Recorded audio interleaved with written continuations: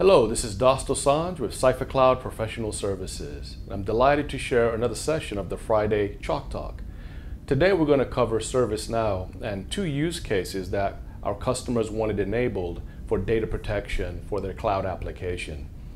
The first use case I'd like to share with you is file attachments.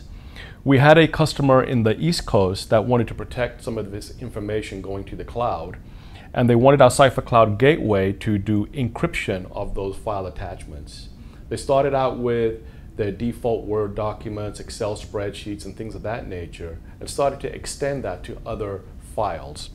So here what I've depicted is a user within their enterprise domain, and that person sends a file attachment destined to ServiceNow in the cloud we actually have a Cipher Cloud platform that will intercept that request and actually encrypt that file. And then we send a encrypted version of that file attachment and we place it within the appropriate form within ServiceNow.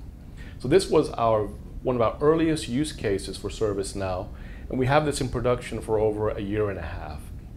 What we then did was extend that use case to other forms and other dependencies on those file attachments. So anybody that came in and wanted to view that file, they would actually then be able to request that file. We would decrypt it on our platform, and then that end user could do their follow-on activity.